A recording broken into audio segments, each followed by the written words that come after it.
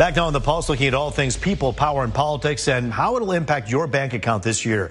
Dan Casey with Bridge River Advisors is in the hot seat tonight, and we thank him for being here. And by the way, we're about to talk about Harris's plan and Trump's plan, and Casey's going to talk about it from an objective point of view, talking about what each plan offers that could be good or bad depending on where you stand on the financial spectrum here. So we thank you for joining us here today. Thanks for having me. Uh, we'll just go in alphabetical order. Harris first, right? Yes. yes. Uh, for Harris, she has some lofty goals. One of them is uh, one of the headlines of her plan is, "Hey, let's do a twenty-five thousand dollar down payment assistance for some new home buyers." Yes. Um, is that something that's feasible, or does that seem more of like a campaign push that would be very hard to get through. Yeah, it's definitely a, it's definitely a campaign push, and, they're, they're, and of course they're all doing that right now. But um, I think something like that could could uh, get through. It's it's. Uh, I don't think it would be very costly in the sense that I don't think there'd be a whole lot of people, according to the the income requirements that she had in there.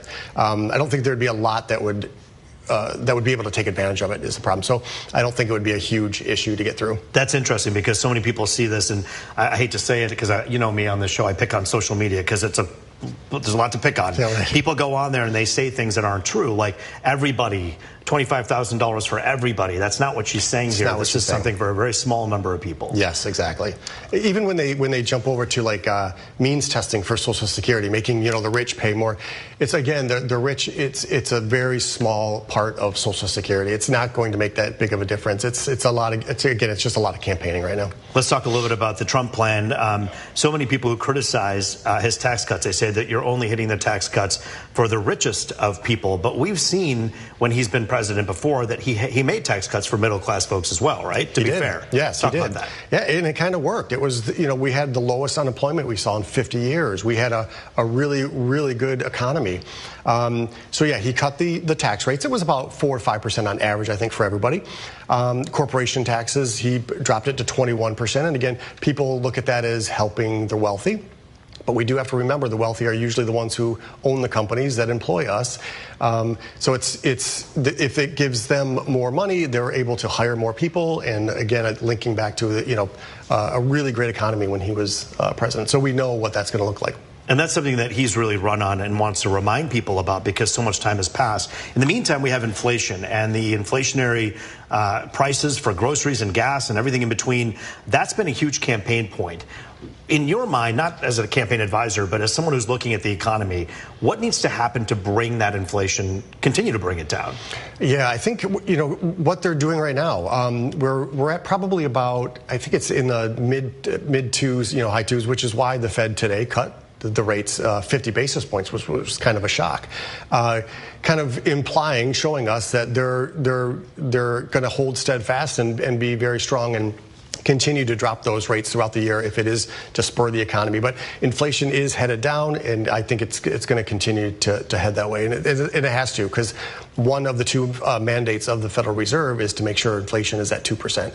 So if the, if it doesn't continue to go down there, then they will rate, maybe go back to raising rates a little bit just to kind of curb the growth a little bit. You've taken a close look at both the Harris plan and the Trump plan. Uh, back to Harris for a moment. What is it in her plan that you think uh, isn't a campaign promise that would simply be a little bit easier to implement and something that could actually help people? Um, I guess a lot of the a lot of her, their income tax credit that they want that she wants to put in uh, the child tax credit. I think bringing that back would be pretty easy, and I think that that would help a lot of people. Um, so that part, I'm, I'm, I'm, I'm, glad that she brought the, those those back. So I think that'll help a lot of people. When you talk and about, easy to get through. Yeah, and you heard Trump uh, just in the last few days, in fact, in Flint, talk about tariffs.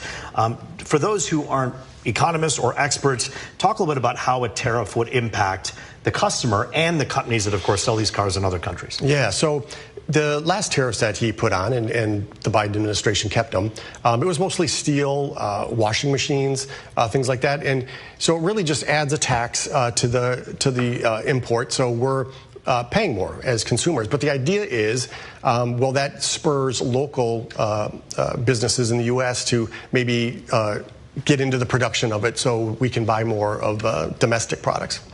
That's the idea. So the tariff obviously hurts the company that's trying to sell the, the stuff. So if it's a Chinese car company or a battery company from overseas, you put a tariff and now it makes it more expensive to buy that product. But it also makes it pricier for the person who wants to buy the product. Yes. And so, but again, but it spurs domestic uh, makers of that uh, to get into it. Now, on the other side, we saw when he did raise the tariffs on washing machines, uh, J.D. Vance came on a, a, a national uh, station and said, you know, the prices uh, didn't go up like people thought they would. Well, they did a little bit, and then they also raised uh, on dryers. They raised the prices. So it really depends on what study you look at. Um, a 10% across the board kind of also negates his his he's always said that he wants to use it as a as a tool to spur uh, the others to lower the tar- tariffs for us.